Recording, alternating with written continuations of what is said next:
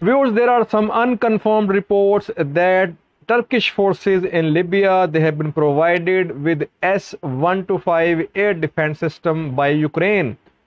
According to these reports, viewers, upon the request of Turkish forces, this air defense system S-125 has been provided to Turkish forces.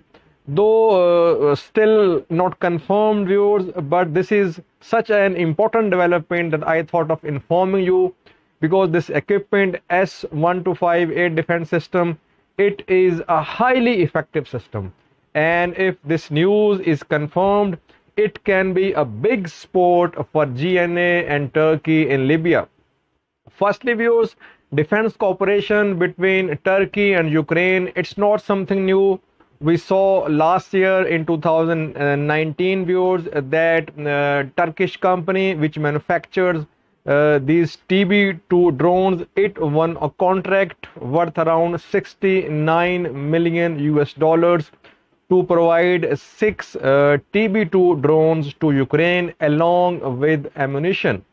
Then viewers, the same year, uh, 2019, uh, this company which manufactures TB2 dro drones, it signed uh, a contract with a Ukrainian company which is state-controlled company. And both of these companies are now working on developing some sensitive technology in defense and aerospace industries. Now the nature of this uh, sensitive technology it's not yet known but they are working uh, together on, on this project.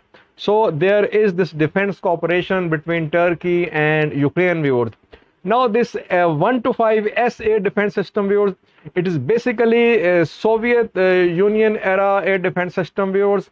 It is very very effective because in the past we have seen that in 1991 when uh, the USA launched its Operation Desert Storm uh, uh, to attack Iraq viewers, this S-125 air defense system it was being used by Iraqi forces and there reportedly this air defense system shot down um, an American F-16 fighter jet.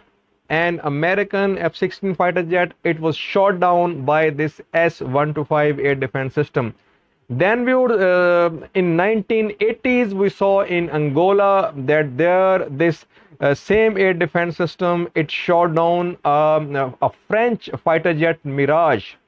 Then most recently viewers in syria in 2015 uh, this s125 air defense system it shot down um, uh, predator uh, drone of america. This predator drone of america viewers mq predator it is one of the best drones uh, right now in the world and it was shot down by, by this uh, S-125 air defense system near Latakia.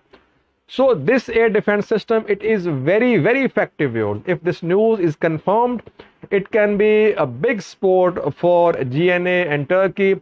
In the coming days, uh, viewers will see whether this news is confirmed or not but yes uh, gna and turkey they are bringing in as much as they can uh, to launch this offensive for Sirte and al jufra and thanks for watching